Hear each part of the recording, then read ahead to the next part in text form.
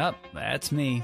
You're probably wondering how I ended up in this situation. Smartphone manufacturers are getting bolder by the day because tell me why you see a brand say, hey, our phone is strong, dip it in water, do drop tests, the screen can crack walnuts. I mean, that is not how a normal person would use a phone, but I think it's refreshing to know that if I buy a phone and use it without a case, I don't have to worry about breaking it. This is the Realme Note 50, and it's one of the toughest regular phones out there, but it's toughness all that they are selling. Okay, let's start by acknowledging that this is a budget phone. It's actually entry level because it costs less than $70. In Naira, it's a little over 100,000. So right off the bat, your expectations for a phone in this price category will be low, especially when it comes to performance. But you see, Realme is trying to make sure that even if it's a budget phone, the value proposition is high, enough to make you consider it over other available options. So we know it's tough, that's already established, but what else does it offer?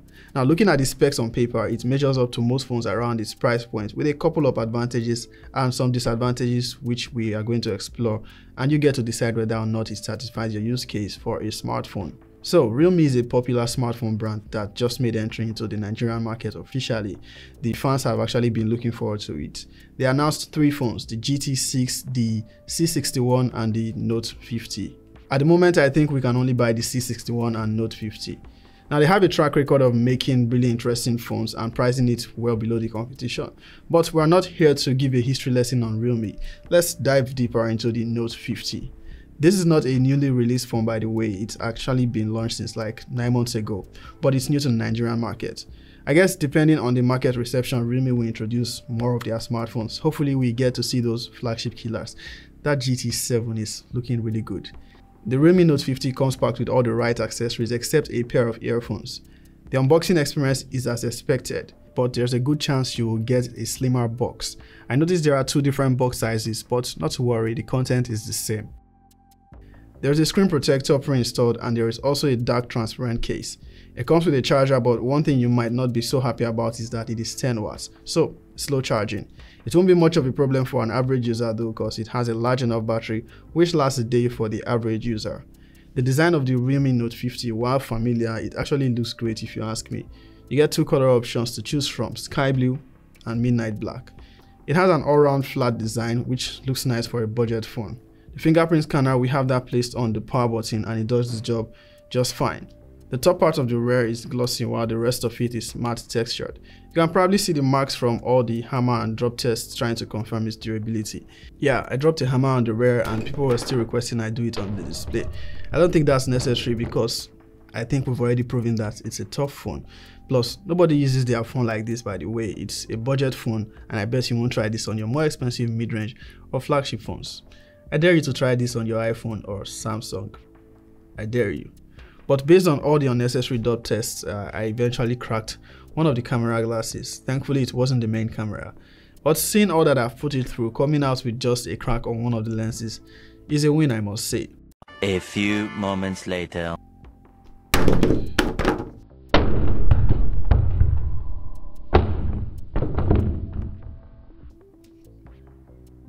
Well, it's still working. Working fine. So, while we can acknowledge that it's a tough one, I believe you're going to use it like a normal person. We do this test because it's practically our job. It's got IP54 rating for dust and water resistance. You don't see ingress protection at this price point, but Realme was kind enough to give us that advantage.